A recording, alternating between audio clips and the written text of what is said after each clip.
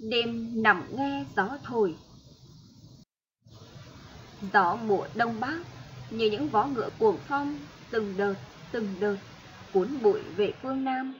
Gió thổi sau từng thành cát tư hãn, gió thổi sau lưng mã viện thoát hoan.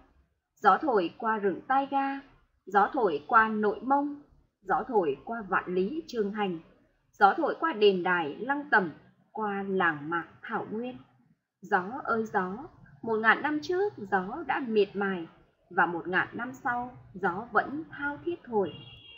Gió thổi suốt chiều dài lịch sử gió chứng kiến những cây đắng ngọt bùi. Gió lưu giữ tình bạn sẻ chia, gió nhớ thương những ngày khốn khó như nhau. Những ngày chưa xa, bên kia ăn cải trắng, bên này ăn rau muống, bên kia ăn ngô, ăn mì, bên này ăn khoai, ăn bánh sắn và đêm nay gió thổi. Gió gấp gáp kể với ta về một đất nước tỉnh giấc chiêm bao.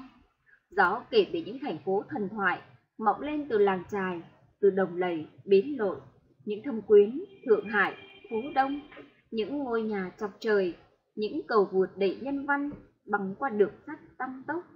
Gió nóng kể về những phi thuyền có người lái, những thần châu năm, thần châu sáu đã bay lên, chiếm lĩnh khoảng không vũ trụ.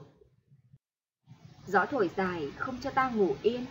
Gió nhắc nhở những công dân việt nam về một thân phận công dân của vùng đất ngoại ô là không tránh khỏi nếu chúng ta quá chậm trong phát triển.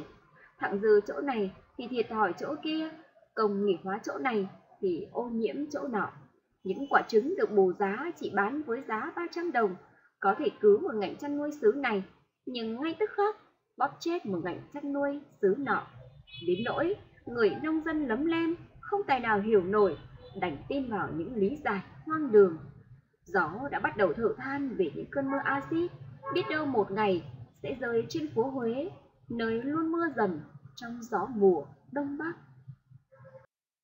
Gió cũng kể rằng có một nghĩa trang yên nghỉ 500 liệt sĩ đã hy sinh cho thật châu Năm bay lên.